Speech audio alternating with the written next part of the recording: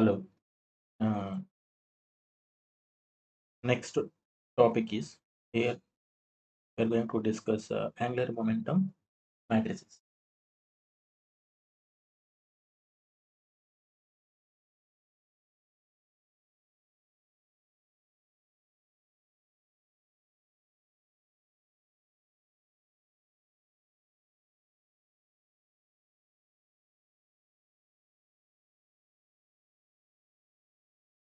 So the state vector here I'm going to define the state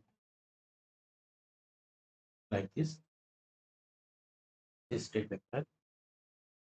Uh, it is a complete orthonormal uh, set, which means state vector uh, orthonormal, right? Orthonormal.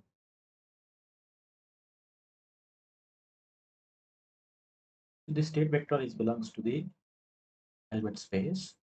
So state vector will follow the orthonormal condition. What is meant by orthonormal? Follow the orthogonal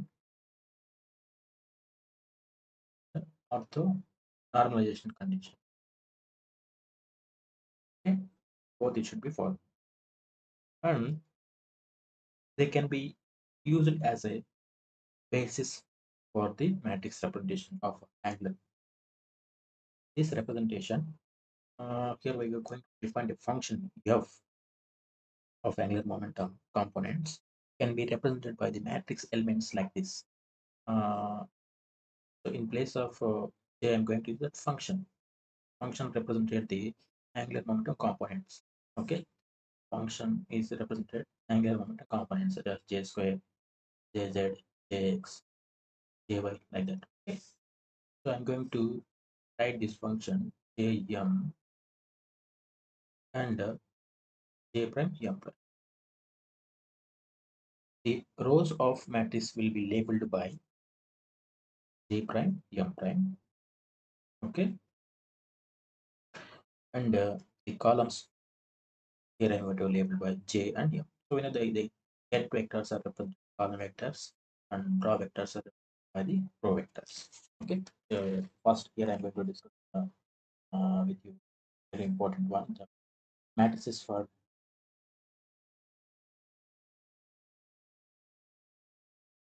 matrices for j square and uh,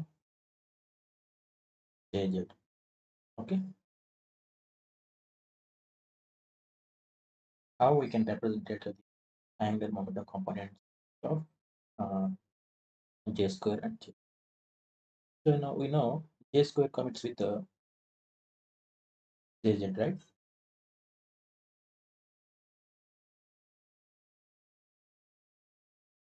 The matrices for j square and jz will be diagonal. Therefore,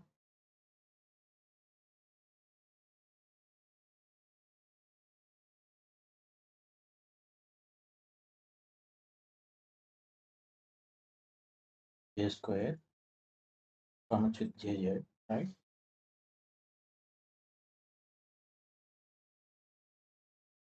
That will be a diagonal.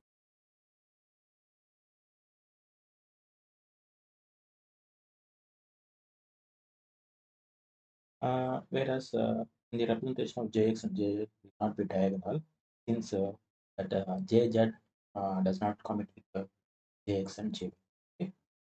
So in case uh, jx, jy is there. Here we got answer. IH cross jz, right? And uh, jy, jz is there. Then IH cross jx, right? The jz, jx is there. We can get IH cross jy. So these matrices, which means jx and jy, jx and jy, jz do not mutually commit with each other. So therefore, this matrices uh, will not be diagonal.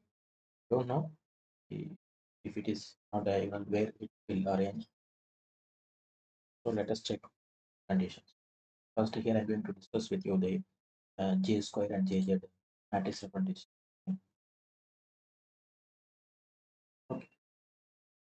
This is j square. Here I'm applying this j square operator on this wave function. Then we can get the eigenvalues right? Eigenvalues so eigenvalues of uh, j square is uh, j into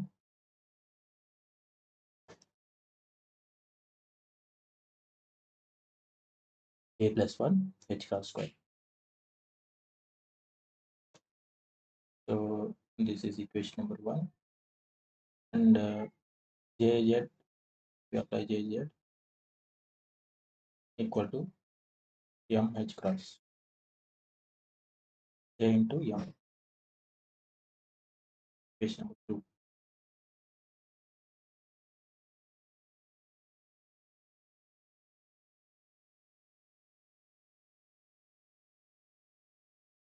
So here uh, j equal to 0 1 divided by 2 1 3 divided by 2 and so on. So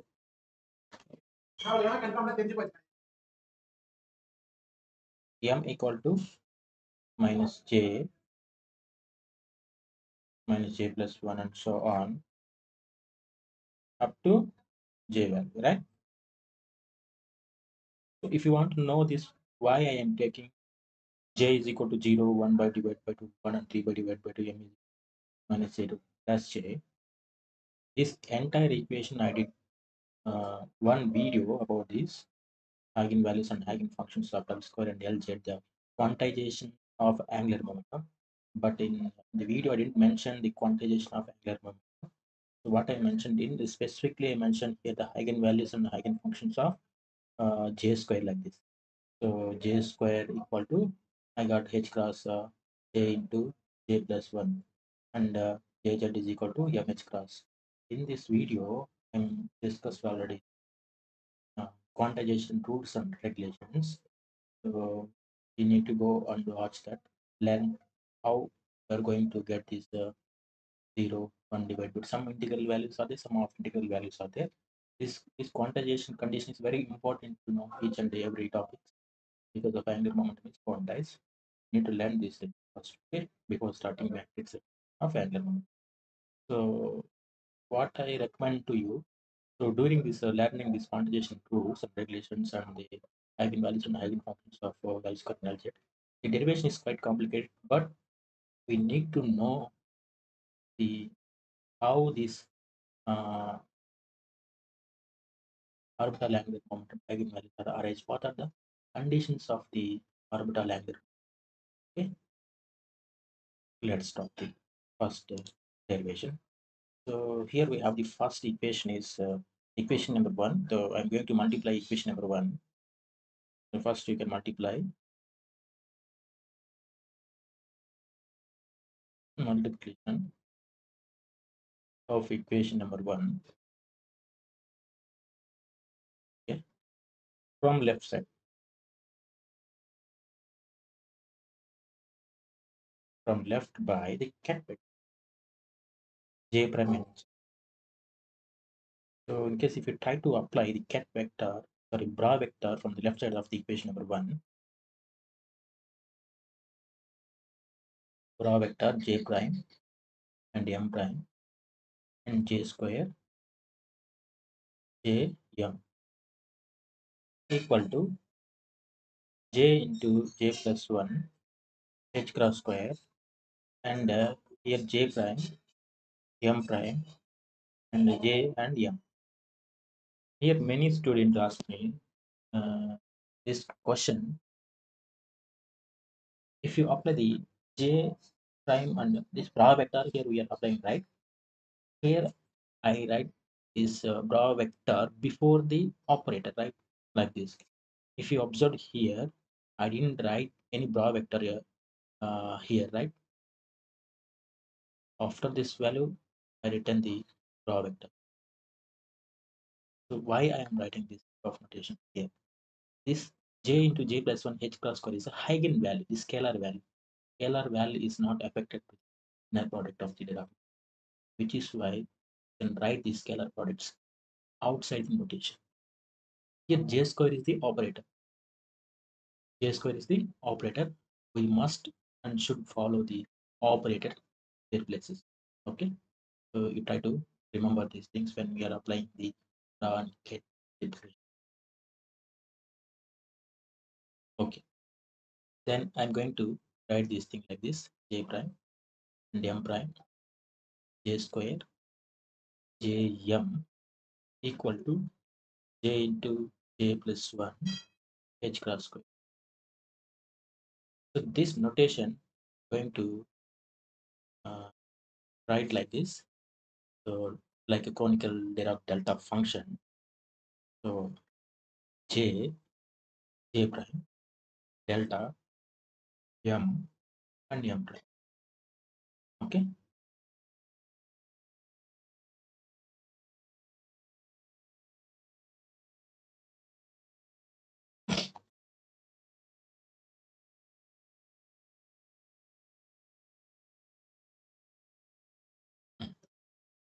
Next, I'm going to explain uh, the matrix for j square. So here th- this one is ket vector, this one is bra vector. Ket vector we are going to represent column vectors. Bra vectors we are going to represent the row vectors. Okay. Then here the what is the j value? What is the m value?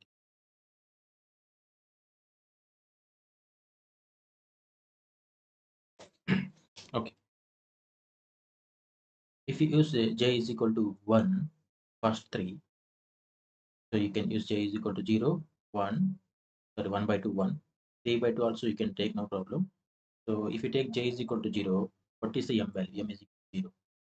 If you take j is equal to 0, okay, from this one, what is the m value? m is equal to 0. Then if you take j is equal to 1 divided by 2. So how many m values are there? Plus or minus j, right? So then I can get two uh, m values. One is uh, ups, uh, upspin, another one is downspin. So and if you take the j is equal to 1, how many m values you can get? So plus or minus 1, right? So in between plus or minus 1, 0 also there. 1, 0, minus. These are the values. Okay. Then you can try to draw the uh, this matrix from like we did in the matrix representation, right? Just like matrix multiplication. So similar rules and regulations, but it's quite uh, just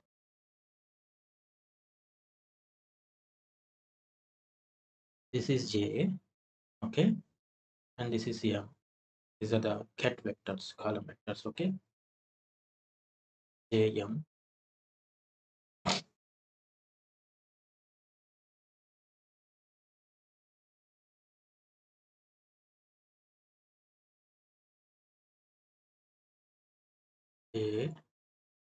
okay. These are the ket vectors, and uh, bra vectors. These are the row vectors.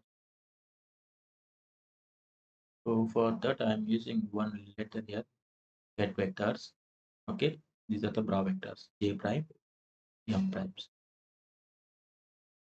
This means these are the ket vectors. These are the bra vectors that represented row. So in between these, I'm using the J square. Okay, so J square. Then I'm going to try to represent the diagram. Uh,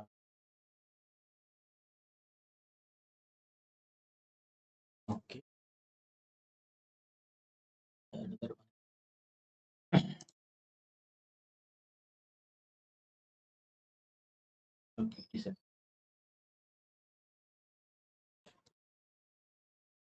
okay. Now we can try to put this uh, j is equal to 0 and m values. For example, j is equal to 0. So here the j is equal to 0, m is equal to j is equal to 0. So what are the m, m values? The m values are 0, right? And uh, case j is equal to 1 divided by 2. j is equal to 1 divided by 2. So m has two values. that is uh, plus 1 by 2 minus 1 divided by 2 okay uh, next day if we take uh, j is equal to 1 maybe we can get three values right? 1 1 0 minus 1 in the similar way here also we can get the three values. If you take j prime and j value j prime values okay? So j m value if you take j is equal to 0 here m is equal to 0 j is equal to 1 divided by 2 so m value we can get. The first one is plus 1 divided by 2 and second one is minus 1 divided by 2 if we take j is equal to 1 m values we can get three different. Result 1 plus 1 0 minus 1 okay right. So if you try to apply this equation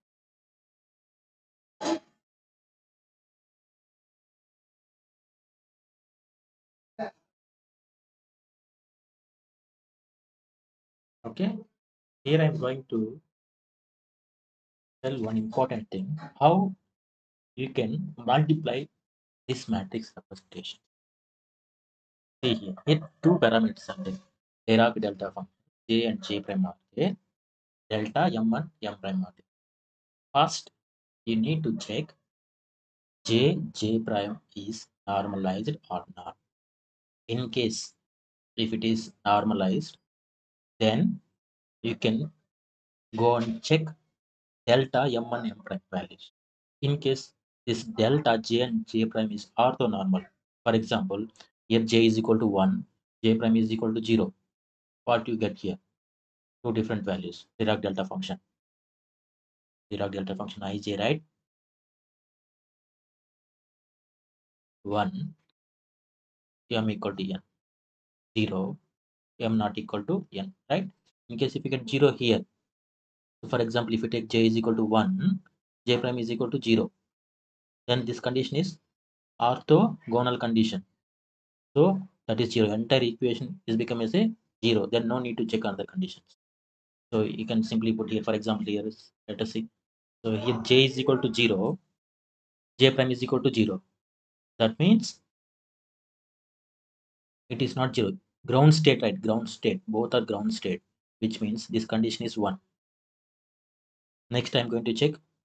Delta m1 and prime. See what is m? M is equal to 0 m prime is equal to 0 ground state this is the 1 if you put j is equal to 0 this condition first. This is j. This is j prime right? 0 this dirac delta condition is both are same right?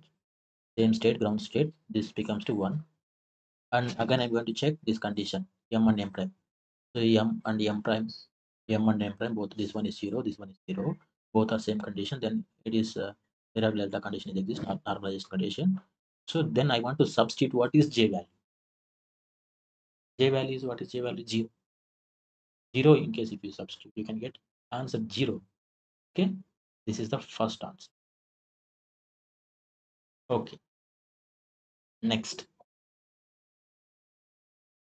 see here. 0 is there and 1 by 2 is there. Here 0 j is equal to j is equal to 0 is there. J prime is equal to 1 divided by 2 1 divided by 2 both are different states.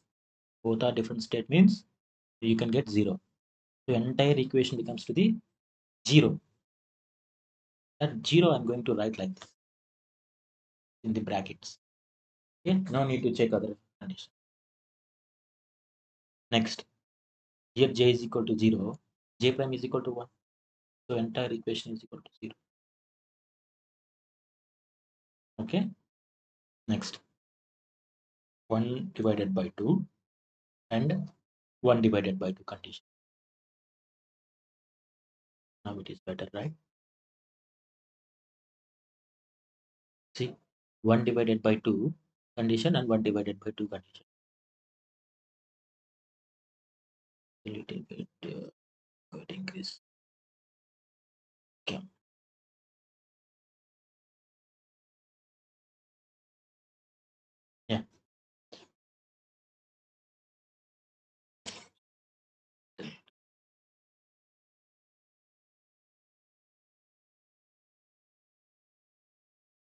Yeah, okay, okay. So here, sorry for the disturbance. Uh, here 1 divided by 2 and 1 divided by 2 is there. Sorry, this 1 divided by 2 and 0 is there. Then we can get this function is 0. Okay. Then we are going to check these two conditions. This is m plus 1 divided by 2 is there. So the condition is exist here. Uh, so here I want to tell you for explanation this thing. Uh, I'm going to tell you like this. Just wait. Uh, j is equal to 1 by 2 is there. j prime is equal to 1 by 2 is there, right? So here I'm going to explain this thing first. Okay, here I got 2 by 2 matrix. Just see the explanation. So j prime is equal to 1 divided by 2. Okay. And uh, j is equal to 1 divided by 2, right? So this is the equation. Uh, j prime, m prime, okay, j square, j m equal to j into j plus 1 h cross square delta j into j prime delta m into m prime. So the first condition is here 1 divided by 2, 1 divided by 2.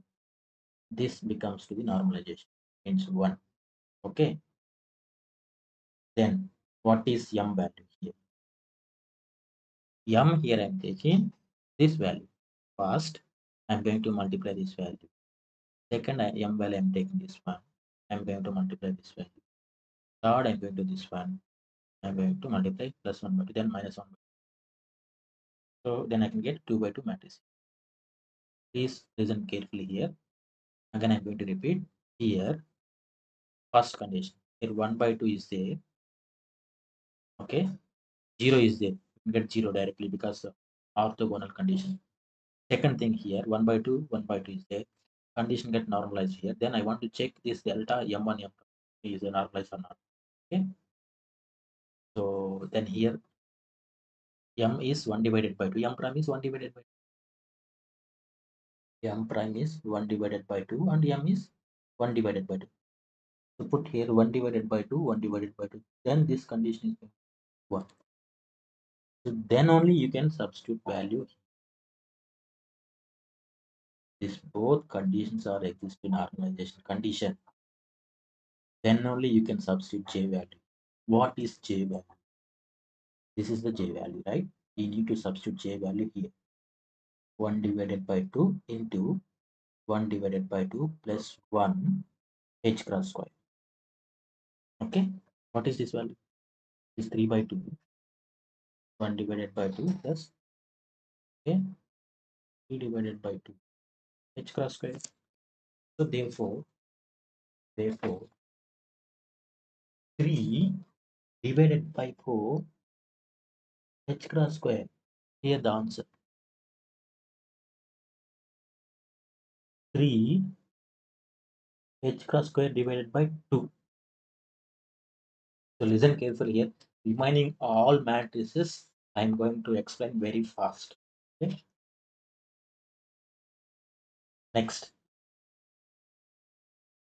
Uh, one more thing is there here. 1 divided by 2 minus 1 divided by 2, 2 is there. Right? So all the conditions are same. And then here this condition is changed. Okay. 1 divided by 2, 1 divided by 2. And uh, this is the minus. Minus 1 divided by 2. What you get here? Minus 1 divided by 2. This will goes to 0. Entire equation goes to 0. Then answer is 0 here. Okay. These two, this portion is over. This portion is this portion is over.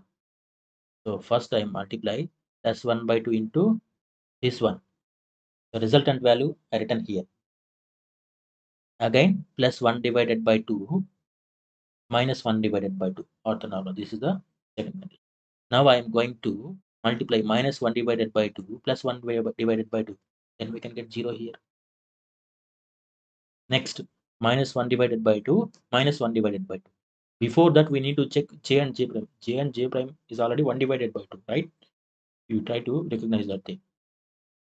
Here minus 1 divided by 2 and minus 1 divided by 2 so i'm going to using here the minus again minus 1 divided by 2 minus 1 divided by 2 then both are same state.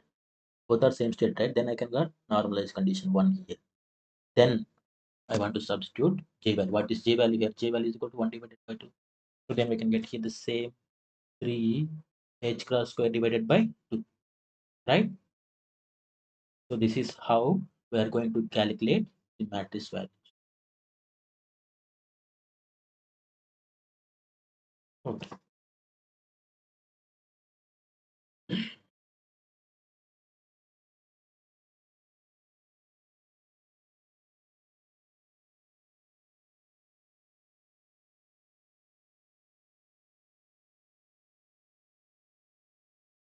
I, I okay just leave it.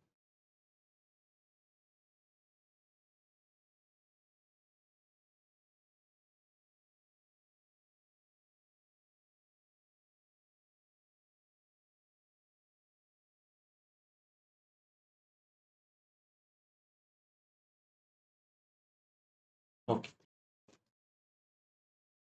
everything is clear right? Next step 1 divided by 2 here 1 divided by 2 1 the entire equation goes to 0 because j is equal to 1 divided by 2 j prime is equal to 1 so then condition entire equation becomes to 0 so no need to check remaining.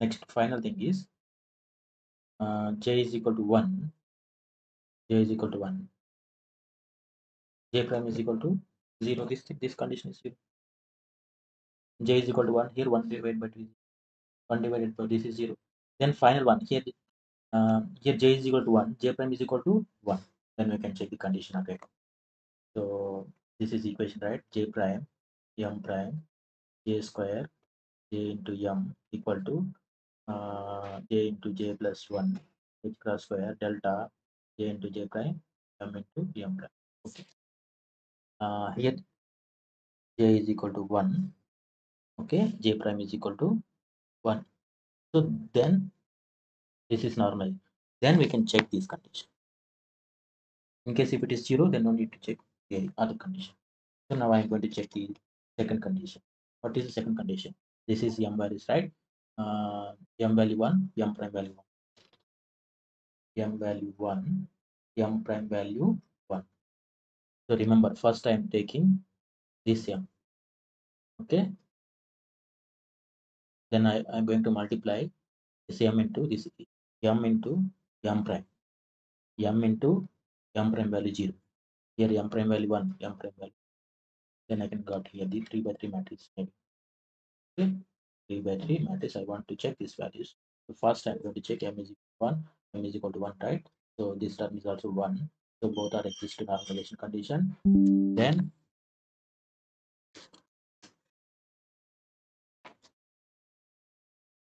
just wait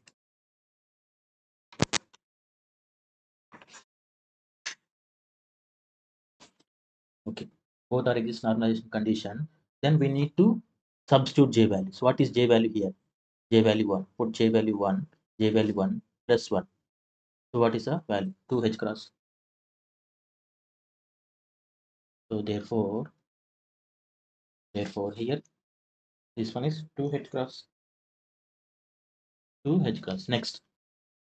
So no need to check again this condition. This condition is already there. Then m this is m prime. Okay?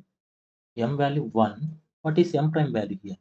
M prime value m prime equal to 0 right? Then entire equation becomes to 0 next. This condition is same this condition is same.